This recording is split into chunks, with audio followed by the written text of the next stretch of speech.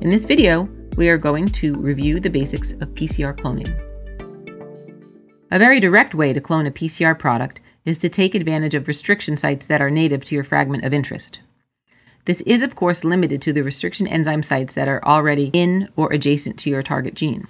A more flexible alternative is to add restriction enzyme sites to the ends of your PCR primers. This allows you to put the enzyme sites of your choice exactly where you want them. Whether you are using native restriction enzyme sites or engineered sites, your cloning procedure would proceed with digestion, fragment purification and ligation, and on into the cloning cycle. Now let's take a look at non-restriction enzyme-based ways to clone PCR products. One of the most popular ways to clone a PCR product is called TA cloning. As it turns out, standard Taq polymerase frequently leaves an extra untemplated A at the 3' end of the PCR product.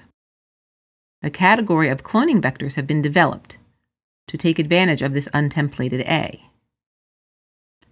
These vectors are purchased prelinearized with a complementary T overhang, and ligation is driven with ligase. This technique is referred to as TA cloning. A more efficient variant of TA cloning is topo TA cloning.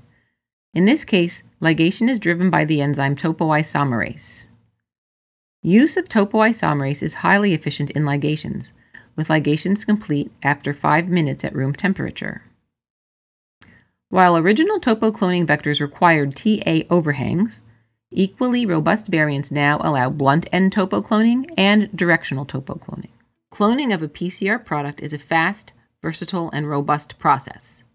The cloning methodology is well worked out, so as long as you have reasonably optimized PCR reactions, you can go from PCR product to colonies on a plate in 24 hours. To learn more about molecular cloning, visit snapgene.com.